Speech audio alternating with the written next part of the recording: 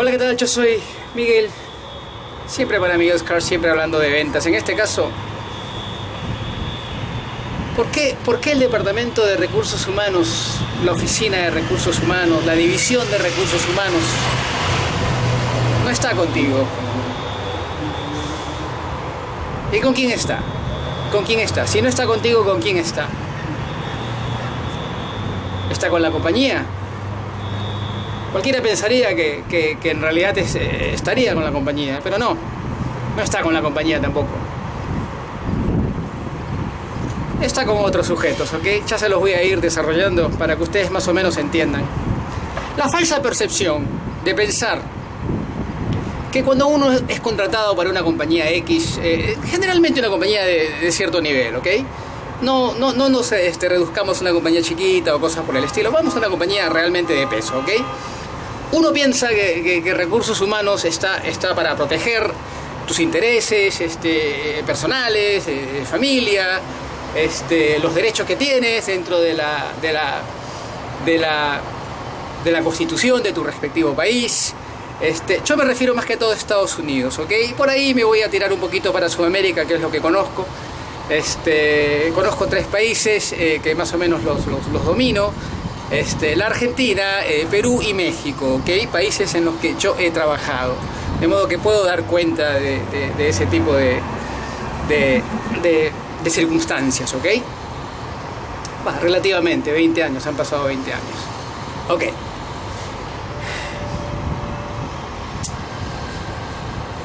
En recursos humanos siempre eh, se te dice eh, que debes reportar, debes reportar cualquier incidente que eh, de alguna manera fuera este, en detrimento con respecto a, a tu integridad o a, a, tu desarrollo dentro de la compañía, este, a tu crecimiento dentro de la compañía, este, que implique que de alguna manera impida tu prosperidad, ¿ok? Y, y, tienes que reportarlo. Mentira, no tienes que reportar un carajo.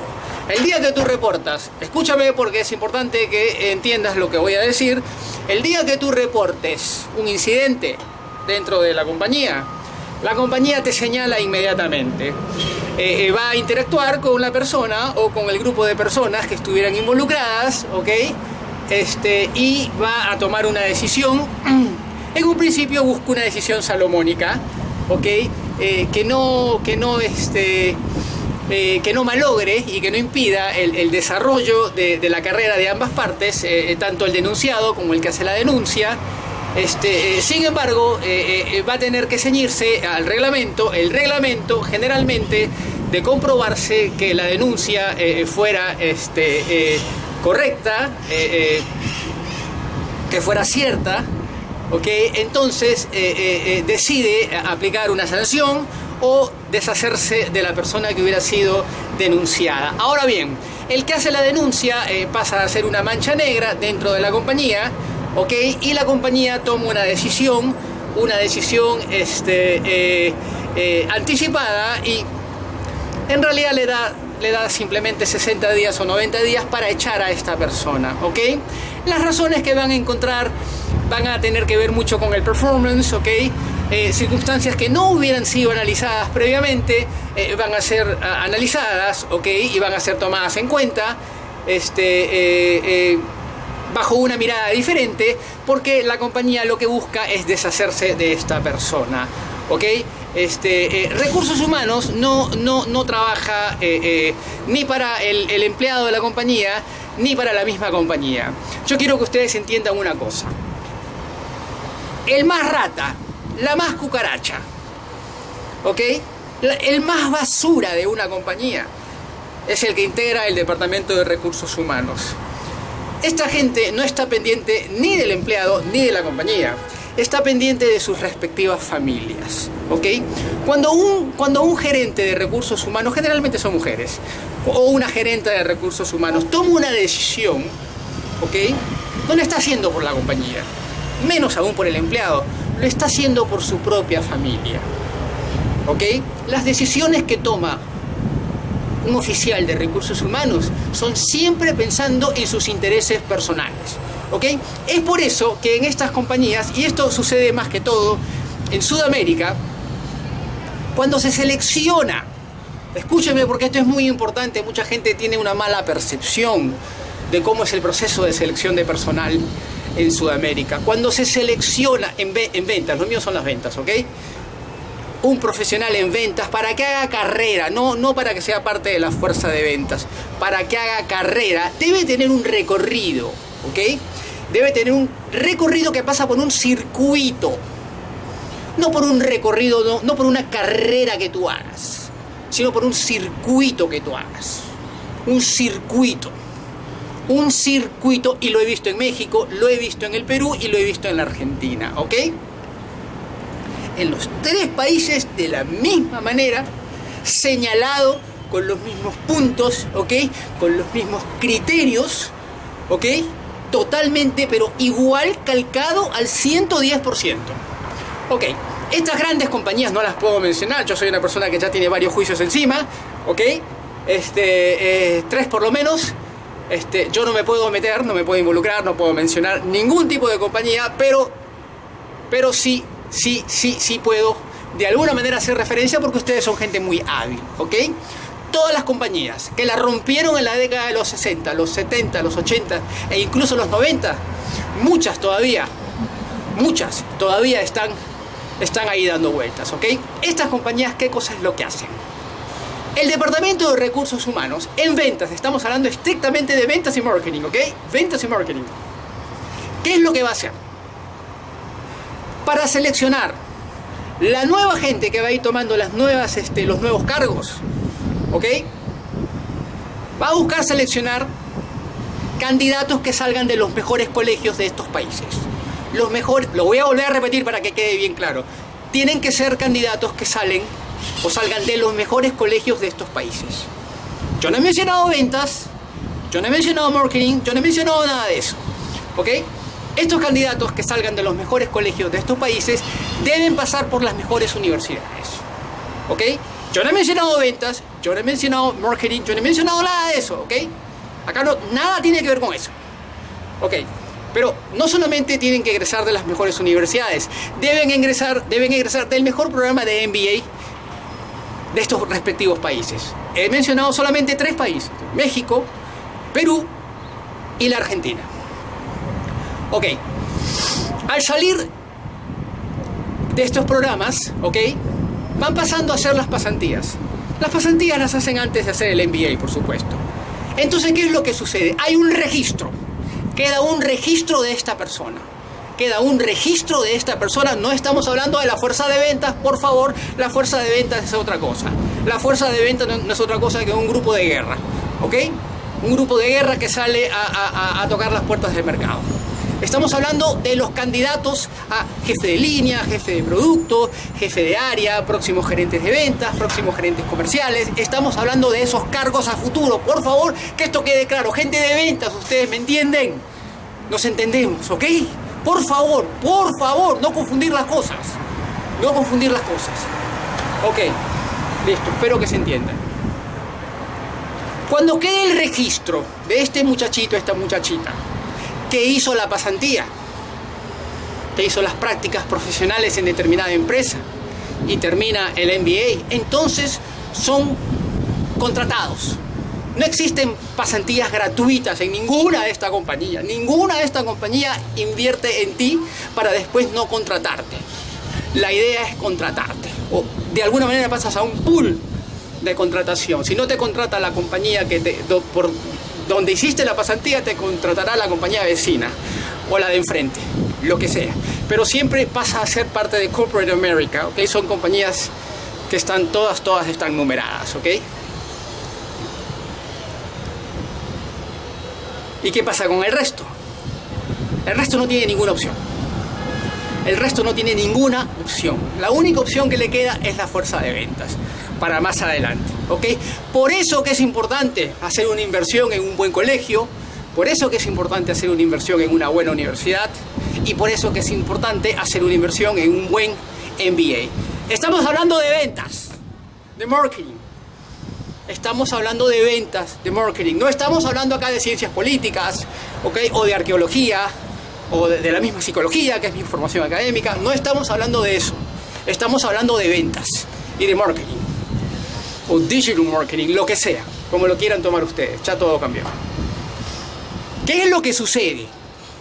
Al paso de un tiempo, estas compañías se terminan dando cuenta que la gente que seleccionaron no sirven para el cargo. Son unos rotundos fracasos. Y esta gerente de marketing, que generalmente es mujer, se empieza a tocar la cabeza y dice, pero ¿dónde cometí el error? ¿Qué fue lo que pasó? Porque esta persona no entiende cómo posicionar este producto en el mercado. Porque esta persona no puede hablar del producto. Porque esta persona no me puede lanzar una campaña de marketing, de ventas. Porque no me puede armar un funnel. Porque no le interesa.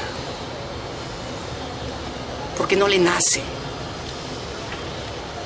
Porque lo único que hizo fue recorrer el circuito para llegar a esta entrevista laboral y ser contratada.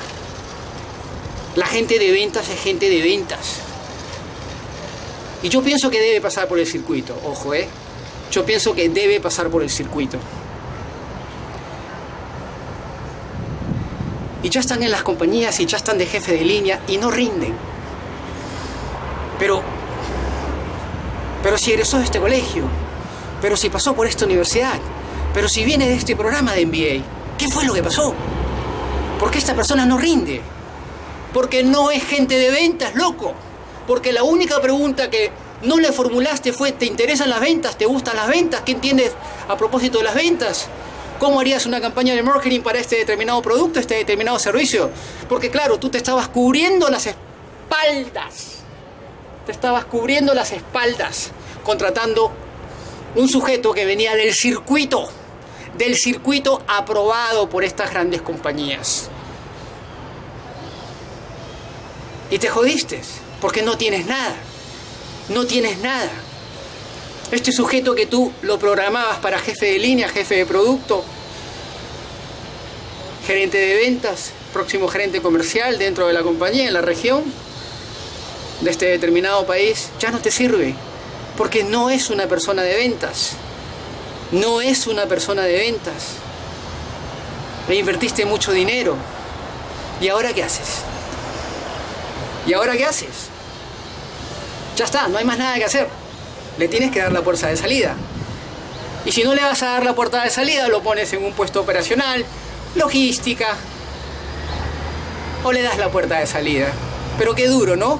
Toda una carrera, toda una carrera, pasar por un circuito, pasar por el circuito. Un circuito que te conduce a un, a un buen cargo, pero después no te da para más. Y entonces van pasando los años y estos sujetos que pasaron por el circuito llegan a los 41, 42, 43 años, 45 años y dicen, ¿qué mierda hago con mi vida? Yo hice todo lo que había que hacer, pero no sirvo para las ventas. Porque me importa un huevo. A mí qué mierda me importa la diferencia entre una Pepsi y una Coca-Cola. ¿Qué mierda? Porque no te interesa, loco. Porque las ventas son una pasión. Porque las ventas, loco, es, una, es algo que pasa por la sangre, macho. No te lo pueden regalar. No te lo pueden regalar. Un curso de MBA no te lo va a regalar, macho. Te va a regalar una contratación. Y al la vuelta de la esquina, un tropiezo de la puta madre. Que no vas a hacer, no vas a saber qué haces con tu vida. Las ventas son ventas, loco. Te tiene que gustar, te tiene que llamar, es algo que te nace. te tiene que nacer, macho. Es así de simple. Y generalmente la gente de recursos humanos son muy, muy protegidos por las compañías, ojo, ¿eh? Sobre todo estas compañías de Corporate America. Los protegen mucho. Los protegen mucho. Los protegen mucho. Porque de alguna manera piensan que están protegiendo los intereses de la compañía.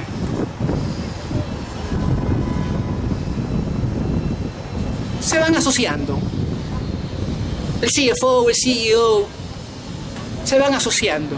Y dicen, lo mejor es no pelearnos entre nosotros porque lo perdemos todo. Estemos con la gerente de recursos humanos.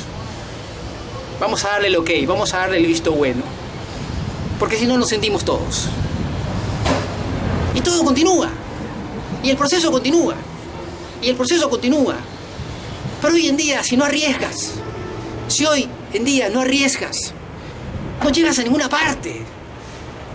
Es que no hay nada para ti, loco, no hay nada para ti. Yo veo a este loco de mierda, Elon Musk. Es un loco de mierda. Está re loco. Está re loco. Pero la tiene atada, loco, la tiene atada. Este flaco sabe lo que está haciendo.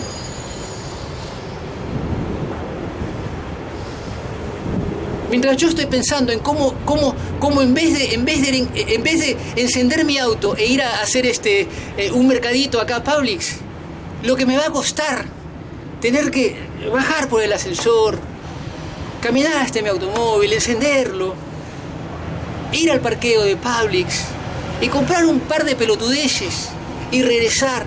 Mientras yo estoy pensando en algo tan chiquito, este hijo de puta quiere ir a Marte. Ahí está la diferencia, loco. Son diferentes pensamientos. No es lo mismo. No es lo mismo. No es lo mismo.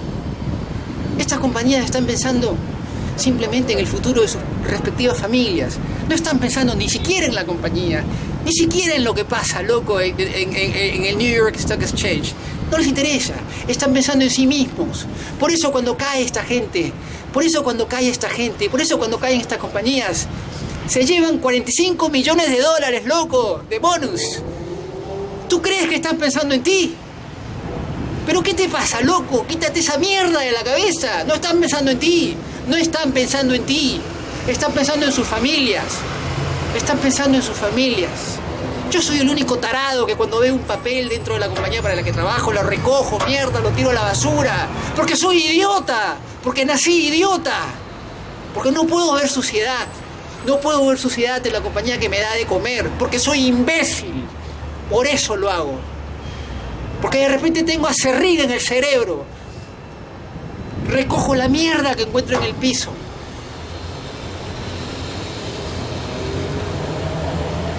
Porque soy tarado. Porque soy tarado. Pero porque soy tarado estoy vigente después de los 50. Yo no hablo de ciertas cosas. Yo hablé de un video hace poquito. Hablé de un video. ¿Por qué no quise hacer guita? Y hay cosas que por supuesto yo no menciono. Inversiones privadas, obviamente. Ustedes entienden de esas cosas. Los que saben de, de, inversiones entienden. Yo no puedo hablar de esas cosas, loco, con cuántos juicios que tengo. Con todos los juicios que tengo, yo no puedo leerse mierda. Pero eso me da tranquilidad también. Me da tranquilidad, me da mucha tranquilidad. Yo tengo un trabajo muy simple muy simple, yo soy empleado. Yo, lo tomé, yo tomé esa decisión, dejé las ventas el 27 de junio del 2019, fue mi último día de ventas. Y le agradezco mucho, conocí mucha gente, gente linda, gente de mierda, conocí de todo. Pero conocí gente buena, conocí gente buena, gente apasionada por las ventas, gente apasionada, nunca me voy a una gringa, Drew, Drew, qué, qué, qué barbaridad, cómo le encantaba, jefa mía, cómo le encantaban las ventas de esta gringa. Nos peleamos al final, al final nos peleamos. Pero cómo le encantaban las ventas, cómo discutíamos de ventas, cómo... Miguel, ¿qué haríamos en esta situación? ¿Qué es lo que hago? Y podemos hacer esto, dile esto, dile lo otro. No, no le digas eso, no le digas lo otro. Listo, no, no, no, dile esto. Ok, correcto, hazle esta propuesta. Que sea irresistible. Y es, es una pasión, es una pasión, es una pasión. Esta gente que pasa por el circuito y son contratados por estas grandes compañías no tienen esa pasión. Y por eso después fracasan. Y por eso después fracasan. Lo peor de todo es que las compañías terminan protegiendo a esta gente de recursos humanos. ¿Y saben usted, ustedes por qué los protegen? Los protegen para que sigan viajando de vacaciones, para que sigan manteniendo su status quo, su modo vivendi, su estilo de vida. Y está bien, a nadie le importa nada. A nadie le importa nada. Está bien. Está bien. Está bien. Tú puedes decir, Miguel irascible, irascible, irascible, tiene mal carácter, no sabe lo que está diciendo. Yo la tengo atada, loco. Yo la tengo atada. Yo estas cosas las aprendí de mi familia, desde muy chiquito. Yo no soy ningún idiota, la tengo atada, loco. En año 79 vine por primera vez a este puto país y lo vi todo. Desde muy chiquito vi cosas muy locas, muy locas. Una vez me paré y vi el highway y dije, ¿qué mierda es ese camión con 18, 18, 18 llantas, 18 gomas? ¿Qué mierda es ese camión recorriendo el highway? Y yo me preguntaba, y era chiquito, ¿qué es lo que hay adentro? ¿Qué hay adentro? ¿Qué hay adentro de ese camión? Yo quería saber qué había adentro. Porque ya me gustaban los negocios. Ya sabía que ese camión iba a llegar a algún destino. No sé a dónde iba, pero yo sabía que había algo. El año 79, han pasado 40, 41 años. Vinimos con mi familia, nos fuimos a Orlando. Años muy felices, muy bonitos, no los puedo olvidar.